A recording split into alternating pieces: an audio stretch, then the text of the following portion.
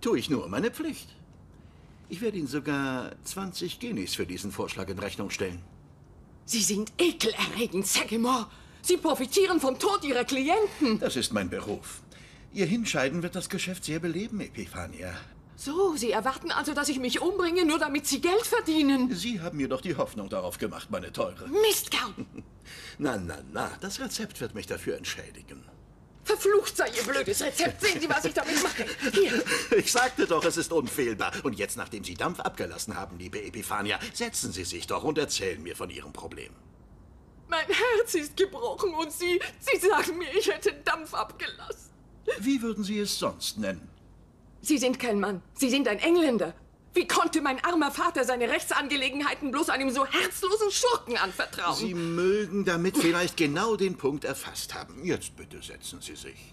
Oh, Julius, Julius. Konnte ich nur so dumm sein, so etwas zu tun?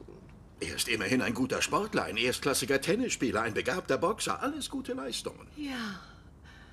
Und anders als die meisten hübschen Männer, uh, konnte er sich so gut ausziehen.